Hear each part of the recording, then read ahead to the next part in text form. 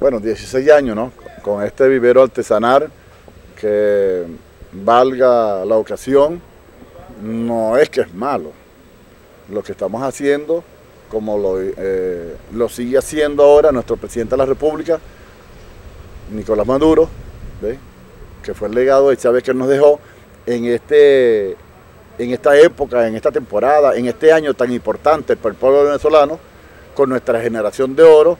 Hoy en día los jóvenes, como es la ingeniera Leodersi, el equipo, los trabajadores, el, TCU, Luis José, eh, conjuntamente con el resto de los trabajadores. Ahora vamos de lo artesanal, sin desecharlo, a la parte tecnológica, es decir, este ibero artesanal, ahora sin desecharlo, eh, como ustedes pudieron ver en las cámaras, estamos haciendo nuestro vivero, donde la tecnología de punta es determinante para seguir creciendo.